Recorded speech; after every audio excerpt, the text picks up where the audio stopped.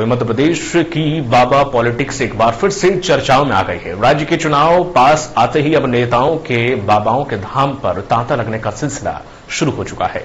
और इस क्रम में पर्ची पर लोगों का भविष्य लिखने के लिए प्रसिद्ध पंडोखर सरकार के दरबार में सिंधिया समर्थक और पूर्व मंत्री इमरती देवी पहुँची, जहाँ पर उन्होंने पंडोखर सरकार से पूछा है कि वह चुनाव कैसे हारी। तो इसका जवाब मिला कि उनकी वर्तमान पार्टी यानी कि भाजपा के ही नेता की वजह से पूर्व मंत्री और पांडुखर सरकार के बीच बातचीत का यह वीडियो सोशल मीडिया पर भी जमकर वायरल हो रहा है। दरअसल डबरा की पूर्व विधायक और पूर्व मंत्री मती देवी ग्वालियर की प्रसिद्ध कथावाचक जय किशोरी की कथा सुनने पहुँची थी और इसी बीच पांडोखर सरकार भी वहाँ पर पहुँची और उनका दरबार लग गया। बस फिर क्या था? अपने मन के सवाल पूछने के लिए मरती देवी ही दरबार पहुँच गई और इस दौरान उन्होंने कहा कि वे स्वच्छ राजनीति करती हैं और फिर भी हार गई उन्हें किसने हराया है? इसके जवाब में पंडोखर सरकार ने बताया कि उन्हें उनकी वर्तमान पार्टी के ही एक नेता ने हराया है, लेकिन वे उनका अभी नाम नहीं बताएँगे और वे उसका नाम डबरा में होने वाले कार्यक्रम में बताएँगे। महाराज जी, मैं आपके पास हर बार सोचती हूँ कब जाऊँ कब जाऊँ। लेकिन ऐसा मौका नहीं लग पाया कभी कि मैं आपके पास पहुँच पाऊँ। 2014 2014 में मैं गई थी जब लोकसभा चुनाव लड़ी थी। तो एक तो मैं राजनीति बहुत साफ़ सुथरी करती हूँ फिर भी मुझे चुनाव कैसे हराया? और दूसरी मेरी बिटिया की बिटिया नातनी मेरी तीन साल की हो गई अब वो बोलती नहीं। दो मेरे बच्चे।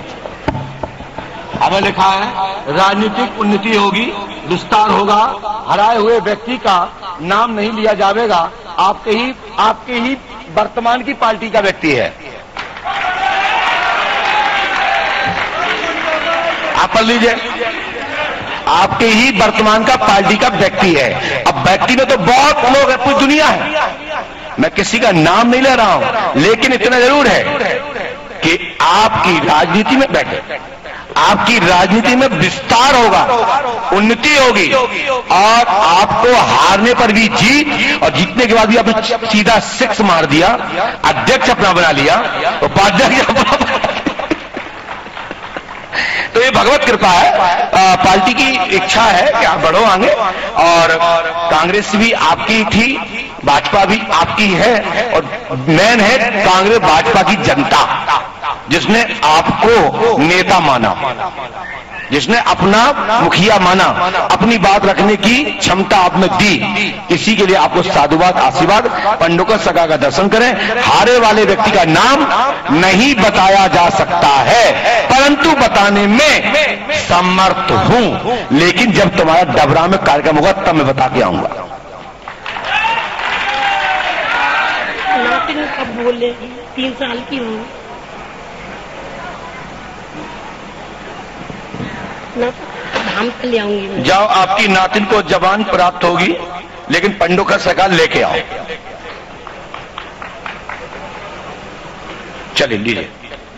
इसमें उपाय विधि इसलिए नहीं लिखा गया, क्योंकि आवश्यकता नहीं थी, क्योंकि आप पंडोकर धाम आए, तब मैं आपको बारे में बताऊँगा